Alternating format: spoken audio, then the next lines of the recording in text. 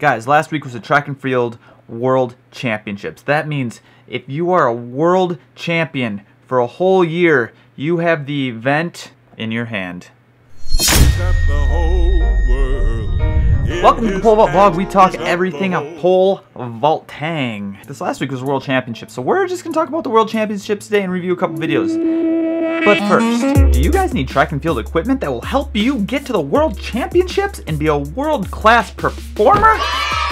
And buy their stuff. Also, I just heard that their codes expired in August, and I was like, hey guys, what's up with that? There's people trying to use these codes. Oh, my bad. Now they extended them for three years.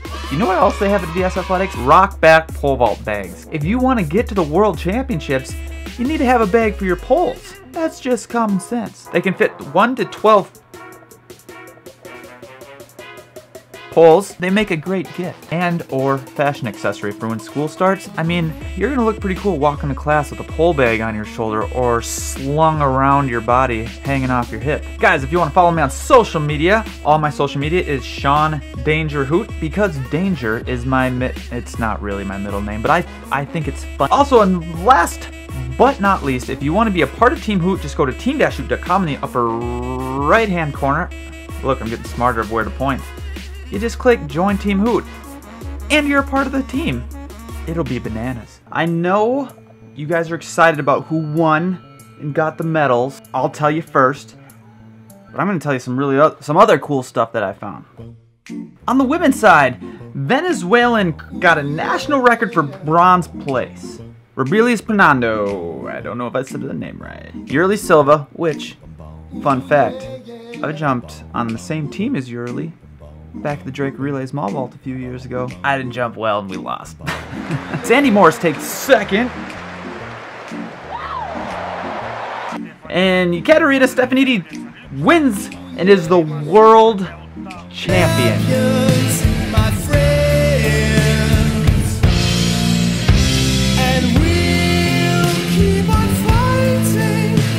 Cool things that happened. Two Canadians made it to the finals. I can't remember the last time that happened. Holly Bradshaw looked like she was wearing flats the entire time. Eliza McCartney is the happiest pole vaulter I have ever seen, and if I was still pole vaulting, I would strive to be that happy, whether I make or miss. Holy cow. You just can't help but like that girl. And last but not least, Stefanidi and Sandi Morris got the same place they did at the Olympics. The hardest thing is to get the peak of the Olympics and then hold that momentum forward. And Stefanidi has been on fire. She is the Sergey Bubka, Renaud Lavillenie, Sam Kendricks. She is the Muhammad Ali of the women's pole vault right now. She is Katerina Stefanidi. On the guy's side, we got Renaud Lavillenie takes third place, and he seemed very happy about I will talk about this in a minute. Lisek takes second place, and Sam Kendricks with a perfect scorecard up until 595 is world champions. I think he has a perfect season. He hasn't lost all season. Renaud gets third place. He has been injured all season. He was struggling as the outdoor season started, and he still comes out and manages third place. That's how good he is. And you could tell he's had a frustrating season because he was smiling, and he never smiles unless he wins. I know, like, it was kind of a tough season for him, so that's really fun to watch. And the other favorite thing that I saw with the with the men's pole vault, my favorite thing personally, it's very subjective, is that there were so many young people. Emmanuel Karalis from Greece, who made it to the World Championships. He's about as old as Mondo, maybe just a smidgen older. Chris Nilsen of the USA, freshman in college, and the great Mondo Duplantis. Mondo not only made it to the World Championships, but he made the final. He's 17. He is the youngest pole vaulter to ever be in the World Championships pole vault, and now the youngest to be in the final. Holy cow. And besides good friend of mine winning the World Championships, I think one of my favorite things is Shawn Barber going over the bar. Crazy. And this is a good reminder for everybody watching these, is that, yes, he looked out of control and a little crazy but the bar stayed up. And that's all that matters in this event, is if the bar stays up and you go over it, it's all good. Congratulations to everybody, but Kendricks and Stefanidi are Guys, before we review these videos this week, I would like to say last week I got a lot of comments and emails about how I need to be reviewing these better, and I'm not doing a good job. Well, I saw this, and I, I get that. The, the pole vault is like politics and religion. Everyone has an opinion, and everyone's is different. And I try to keep it super, super simple because I can't see you try and make these changes. And if I tell you to do something and you get hurt, it makes me look bad. If I'm coaching you in person, it's a little bit different.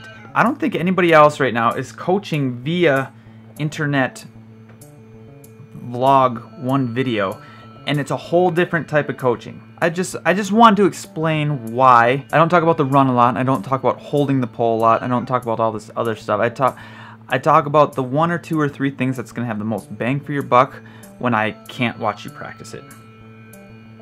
So let's review these videos. Alright, the first video is from, what is your name, sir? Jake. Jake, welcome to the pole vault vlog. Your vault is gorgeous. I think you're just ready for more. More pull, more grip.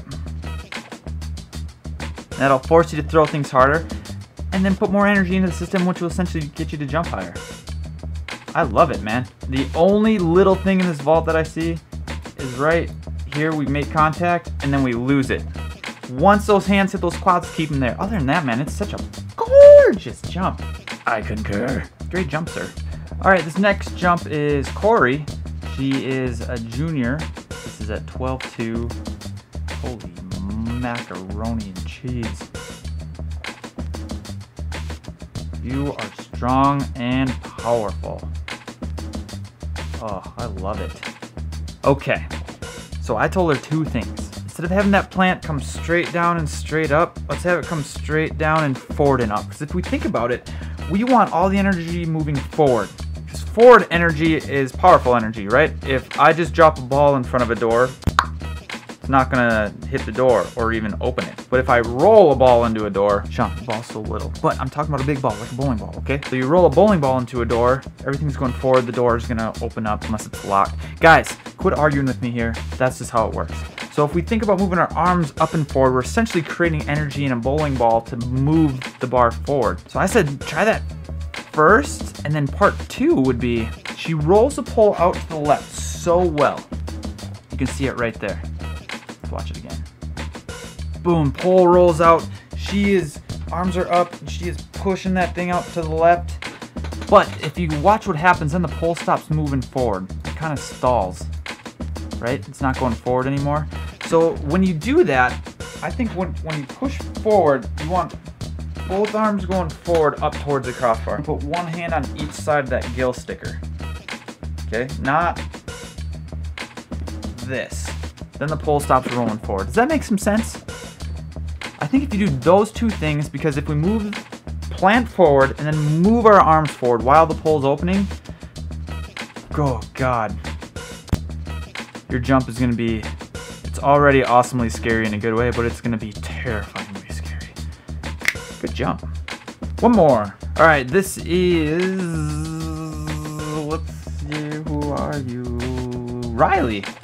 Welcome to Pole Blog, Riley. I'm happy you're here. Great jump. So kind of the same idea as the last one. We want to plant up and forward. And then instead of, once we hit it, instead of just like yanking down on the pole, move it forward. Arms going up and forward, create space.